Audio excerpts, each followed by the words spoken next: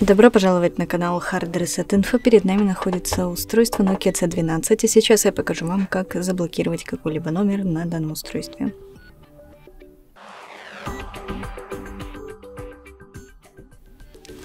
Итак, для этого мы открываем приложение телефон, далее мы э, нажимаем на три точечки в правом верхнем углу, выбираем настройки.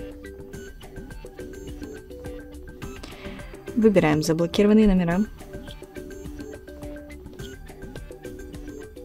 Нажимаем «Добавить номер»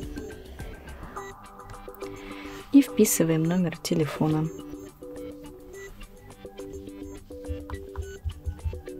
Нажимаем «Заблокировать». И так мы можем заблокировать абсолютно любой номер.